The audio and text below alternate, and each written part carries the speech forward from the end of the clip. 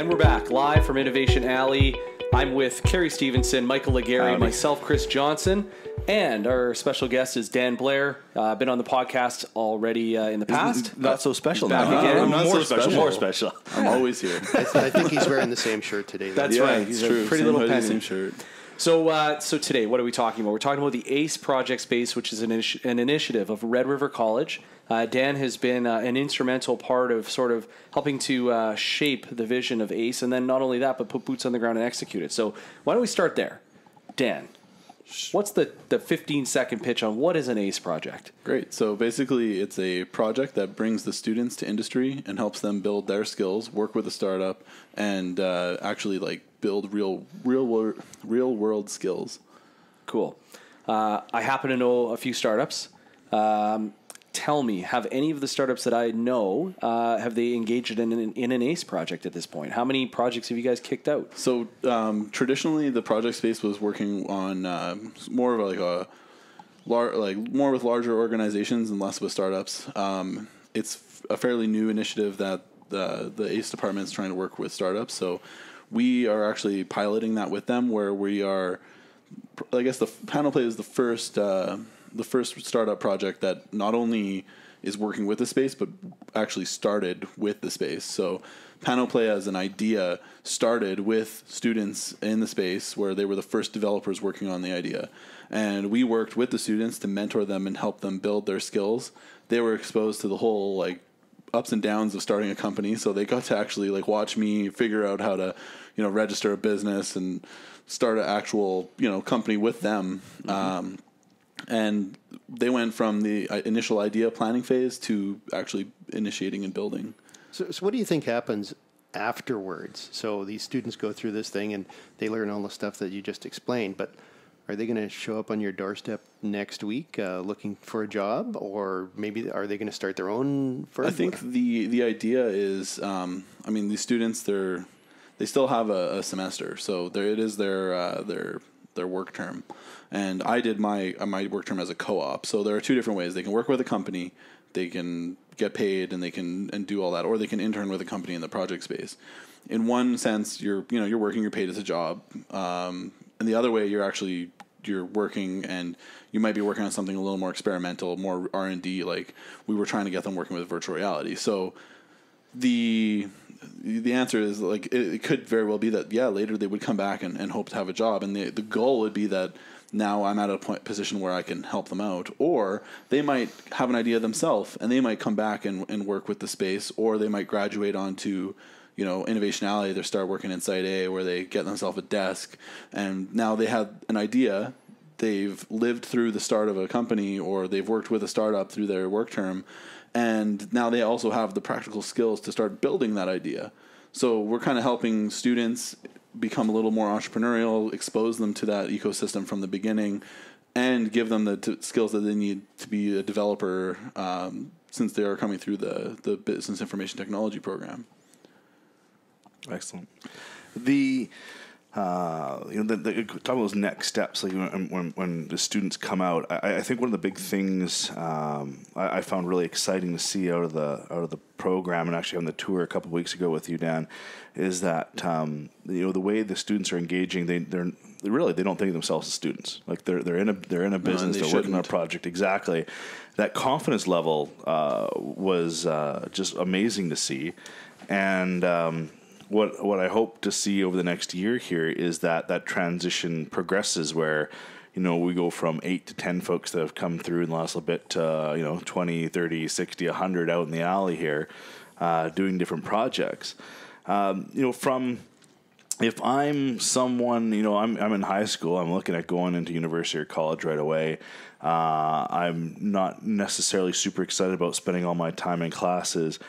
How how far into a Red River program, you know, would I be have to, to get access to the ACE program? Is it my like third year, fourth year, So, first yeah. month in? with with bit um, it's a two and a half year program unless you do ibit so Yeah. if you do the introductory course then it is slightly longer but you basically work your way through three semesters of classroom and then you have those initial skills which are necessary but Yeah. then you actually get to apply that in a real world situation so whether you're working with co-op or with the uh, the project space um, you get to actually do hands-on learning. And from my experience, because I did graduate from this program, is it, it's the best part. I mean, you can sit and learn, and you know you're going to do little projects in class.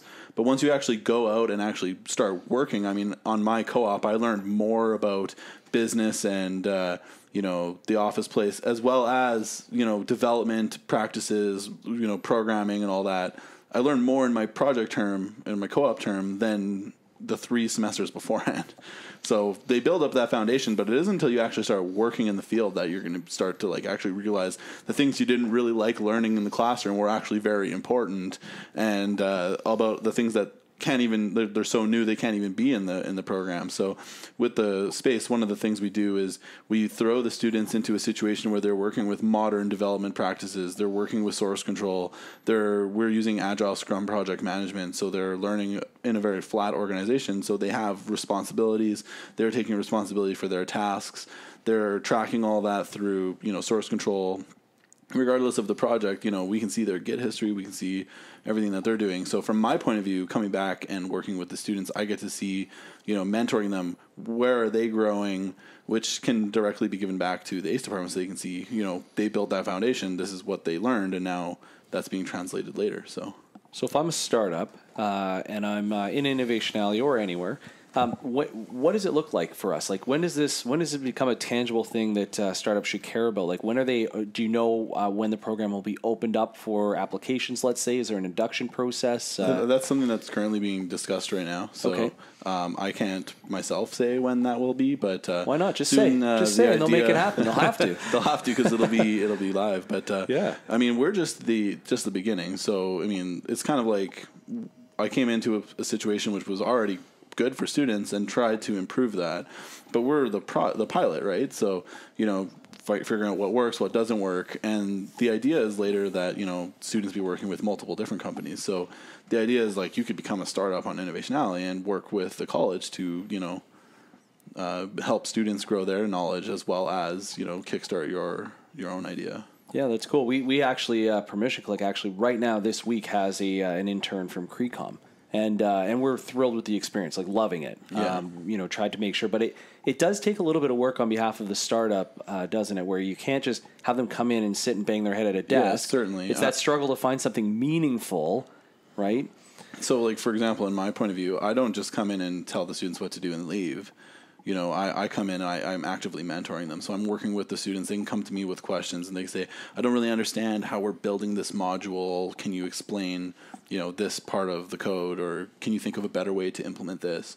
And since I am a developer myself, I can actually, you know, sit and help them. So there is that knowledge transfer happening where the students are growing and learning from me and I'm also, you know, learning while mentoring them. So Yeah. Well, what I'm driving at is uh, I think a lot of a lot of internships and co-ops can be a failure sometimes because the company doesn't realize that it can't takes a whole them. bunch of investment. Yeah. Like when you get a, you get someone come in, it's like, oh great, I got a free person for three weeks or six yeah, weeks. it's not just like No, getting it- free people. It's Yeah, you're, you're actively working in. with them, and Yeah. Um, it, with the right mentor and the right student, it can be very valuable because you know you get the right person who's willing, the right student who's willing to learn, and the right mentor who's willing to help them grow. I mean, you're going to have a tremendous experience. If you're just coming in and expecting that people are just going to do work for you, I mean, it's not worth it for the students, but it's also not worth it for you. yeah. So, is there a way to identify those kinds of situations? Like, I, I, I'm, I'm sure there would be some companies that would, you know, essentially abuse the system.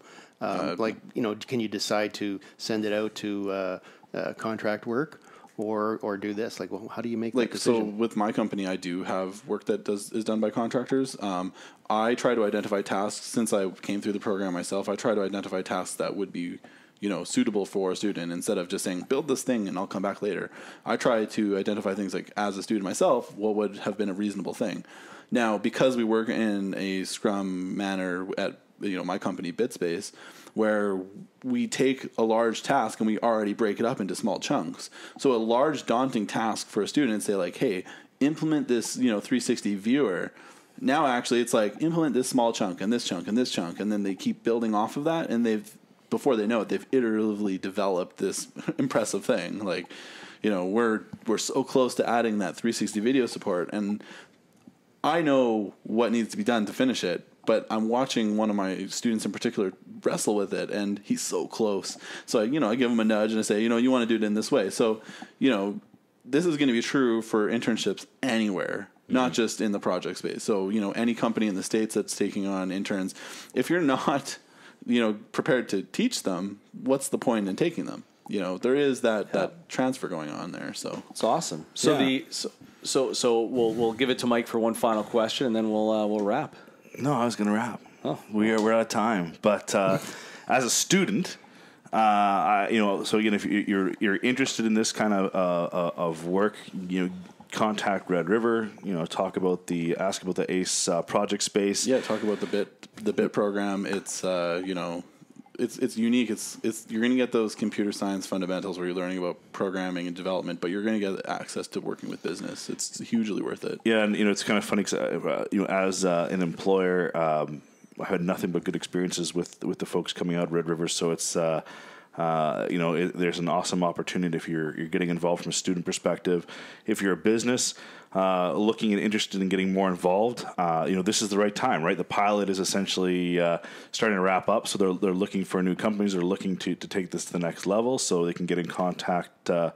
With Red River there as well, and um, you know we look forward to, uh, to to talking more about this and getting more of those programs uh, out onto the alleys. So thanks a lot, Dan, for, for letting us know what it is and uh, and and how folks can get involved.